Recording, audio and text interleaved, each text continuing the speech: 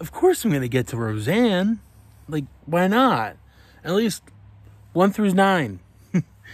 um, the other ten, the ten in that spinoff doesn't that does not exist to me. Um, uh, this episode, this is seasons season three, episode six. Um, Becky Beds and Boys, Becky, you know, it, it's either those like the bees. Um, this is the first appearance of Mark. Now, if you don't know, Mark is the character. Of course, you probably know.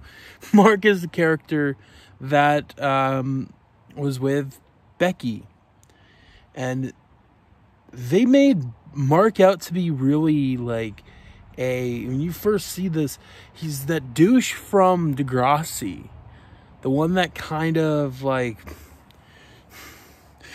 was behind the whole JT, the, the whole JT death thing, the whole um, the murder with JT. Um, this guy kind of reminds me of that. Uh, the the first the the like prototype or whatever of Mark, the original Mark, remind me of that character. Even though I ended up liking this character more and more and more. Um, you tell he was troubled. You can tell he was going through a lot, and I just always loved a character. It's sad for what happened to Glenn, uh, Glenn Quinn. I think Glenn Quinn, uh, because he just you could tell he had talent. You could tell a lot, and he always had this funniness to him.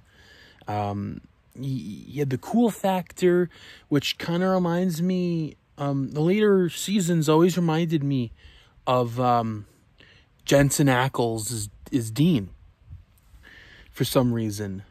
They kind of both remind me of Dean and Sam. Um, uh, Mark and David for some reason. I don't know. I don't know why.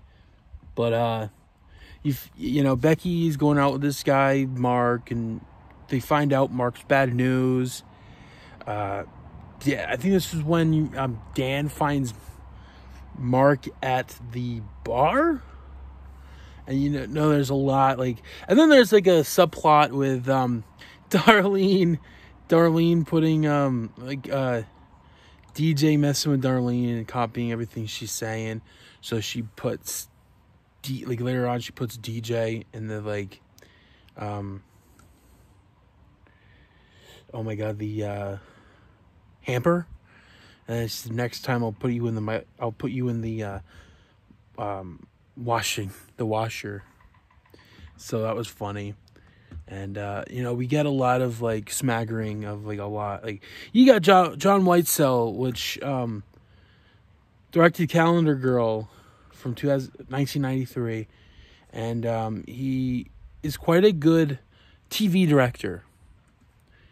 And uh, his directing of the third season of roseanne i think he was he i think he directed he directed all of season three except for I think one season, and I think that was when Gail Gail Mancuso directed one episode. But all like other than that, because after the episode after was uh, tr- the Trick or Treat episode, which is a, um, a classic.